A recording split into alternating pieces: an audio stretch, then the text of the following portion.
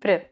Сегодня для меня такое чуть-чуть сложное видео, потому что я решила рассказать э, некоторые истории со своими, ну так скажем, неадекватными учениками, хотя мне не очень нравится это название, просто все это так называют, там, неадекватные ученики, неадекватные клиенты, вот это вот все. А видео будет, я думаю, что достаточно длинным, поэтому заварите себе какой-нибудь чаек, чаек и эм, слушайте всю жесть которая происходила со мной. На самом деле, сразу скажу, что многие эти истории э, произошли э, по такой двойной вине, что ли. Даже это не вина, но это стало результатом какой-то странности людей и неопытности педагога, то есть меня. А, и я потом даже объясню, почему. Мы начнем с такого самого легкого и закончим прям вот жестью, от которой у меня психологическая травма. Так вот, первая история про э, девочку, которая так и не стала э, моей ученицей, но просто с ней была такая такой странный диалог, что я это прям запомнила, и я хочу вам об этом рассказать. Было это, кажется, пару лет назад, э, и она пришла э, со своей мамой в языковую школу для того, чтобы я их определила в группу, и они начали заниматься.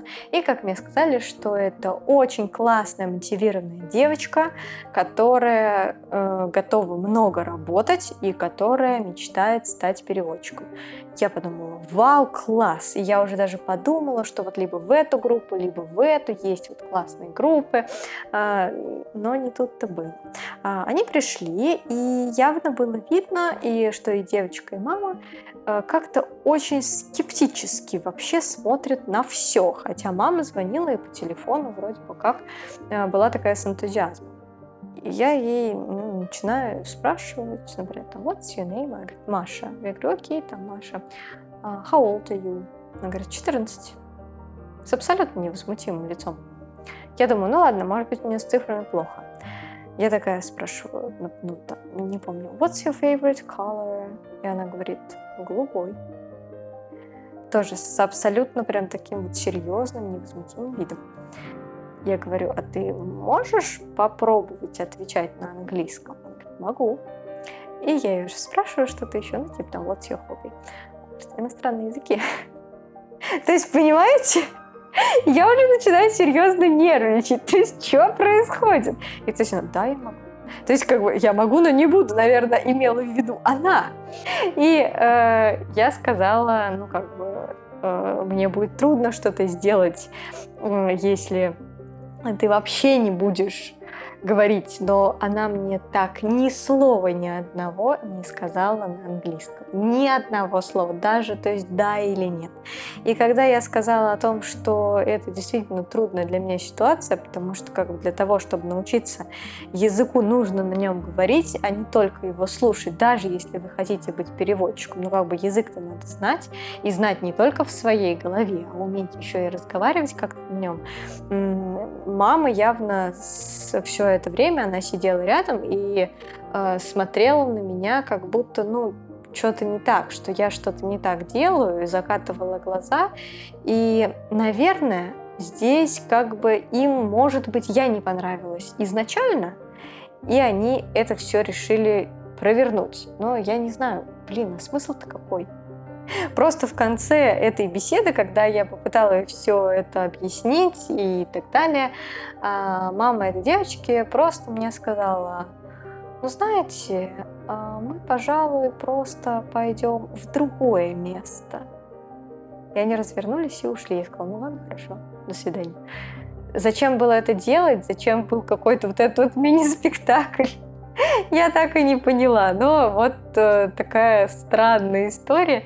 Следующее это э, такая вот история, которая включает в себя сразу несколько людей. И это просто был такой парадокс, что они все произошли со мной примерно в одно время. И только в прошлом году э, несколько человек, которые, опять же, приходили вот как бы на э, тестирование своего ребенка, э, они заходили родители, я имею в виду, осматривали меня вот так вот и как бы вот с, снизу вверх и обратно. И все спрашивали примерно один и тот же вопрос, примерно один, одним и тем же тоном. Это звучало э, что-то типа, а у вас э, образование-то вообще есть? И сначала, когда это прозвучало первый раз, я немножечко опешила, э, и я вообще подумала, что я как-то не так выгляжу. Ну, как бы, да, я знаю, что э, я выгляжу, возможно, моложе своего возраста, и еще очень часто на работу я просто не крашусь. И как бы, да, я там в джинсах, футболке, но все-таки, как бы, ребята, если вы приходите в какую-то языковую школу, то, наверное, вы ей как-то доверяете. Я имею в виду школе. Они бы не взяли на работу просто как бы какую-то школьницу, скорее всего. Ну, то есть, как бы странно. Странно не то, что они меня спросили об этом, потому что очень многие родители спрашивают конкретно о моих квалификациях. И я с радостью им все говорю про образование, про сертификаты, про опыт работы. Но просто как это было э, спрошено? Как этот вопрос был задан, э, это очень странно. И когда он прозвучал несколько раз, э, тут уже как бы мне было без разницы, останется человек э, со мной или нет.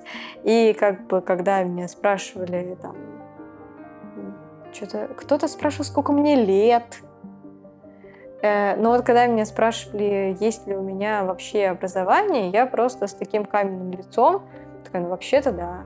Ну потому что, а как еще отвечать э, на такую наглость? Опять же, я не имею в виду вопрос, я имею в виду только тон вопроса. Ну вот, а следующая история э, будет уже именно про ученика, и история достаточно жесткая, ну вот как для меня. Занималась я, значит, с мальчиком, однажды, это было летом, они хотели, запрос был в том, чтобы за лето э, ребенка научить читать. Он проучился один год в школе и совершенно не научился читать. И, как говорила мама, что э, там такая плохая учительница, что абсолютно нулевой уровень у ребенка, что он не знает вообще ничего. Знаете, когда мне говорят изначально, что э, плохая учительница, настолько плохая, я всегда очень сильно напрягаюсь, потому что вот по опыту, когда сильно ругают других учителей, проблема не в учителях. Или проблема не только в учителях. Но там так вышло, что меня очень просили позаниматься через родственника, и то есть это были такие вот как бы знакомые знакомых, и прям вот просили только на лето, потому что ребенок бы уехал потом в сентябре. Ну, я такая подумала, окей, как бы летом все-таки обычно работы нет, нужны какие-то деньги, я согласилась. Давайте назовем мальчика, не знаю, Петя. В общем, Петя переходил из второго, со второго класса в третий, то есть ему было 9 лет. А, и когда я пришла, то выяснила, что мама была права насчет того, что ребенок э, абсолютно ничего не усвоил за год в школе. Опять же, меня после того, как э, его мама очень сильно ругала учительницу, второй момент, который меня сильно насторожил, когда я пришла, ребенок был очень сильно не готов к тому, чтобы вообще с кем-то заниматься. То есть у него началась истерика конкретно натуральная истерика. Хотя 9 лет это очень уже такой осознанный возраст. Но нет, Петя плакал, бегал по комнате, пытался что-то, бросался какими-то карандашами, и я стояла на это все смотрела. А, его мама или бабушка, не помню, пытались в этот момент его успокоить и криком, и чуть ли не руки ему там скручивали за спиной, всегда уже настроя никакого на урок нет, но потом он вроде бы даже когда со мной как-то познакомился, мы с ним что-то поболтали, он как будто бы ко мне даже проникся. И все было вроде бы нормально. А, на первом уроке я заметила, что у него отсутствует какая-либо концентрация внимания, то есть, ну, бывает такое. А, он был очень активный, ну, то есть, прям очень активный.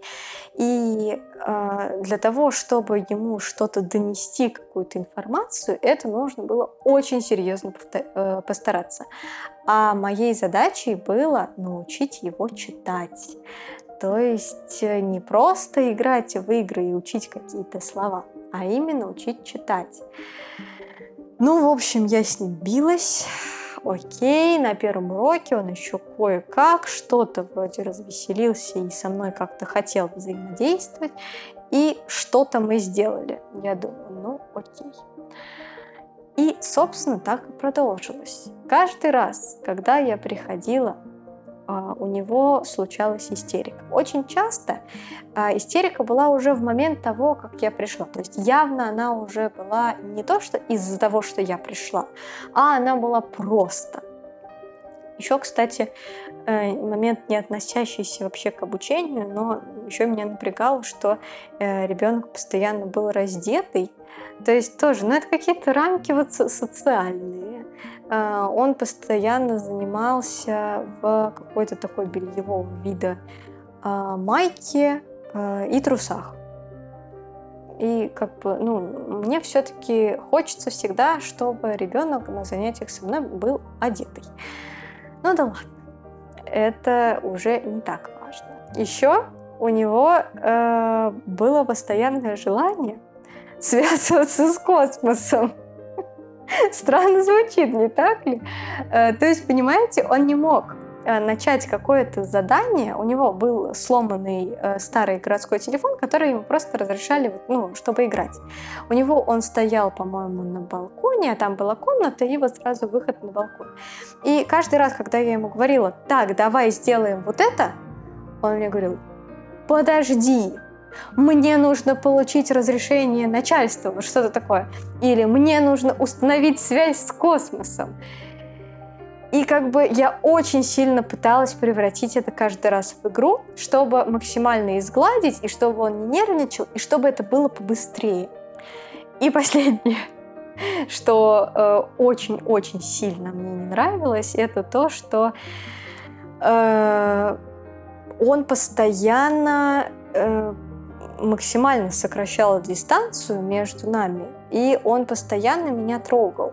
Бывают маленькие дети, я сейчас говорю о детях там 4-5 лет, а, которые все трогают, и они как-то вот машинально за, за вас хватаются, э, и как бы это вполне нормально и естественно. Тут, опять же, 9 лет, я считаю, что уже э, ребенок э, осознанный, самостоятельный, и ему не нужно это делать.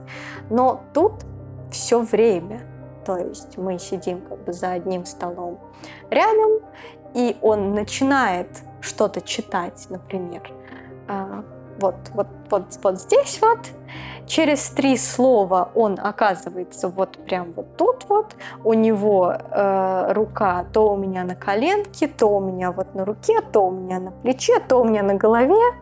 То есть это не было такое, что я ему нравлюсь, поэтому он меня трогает. Нет, как бы, то есть ему совершенно было неважно. То вот он за волосы вот так вот схватится за мои. Я каждый раз ему говорила, то есть не надо, э, совершенно спокойно, просто что давай мы вот уберем руку с моей коленки.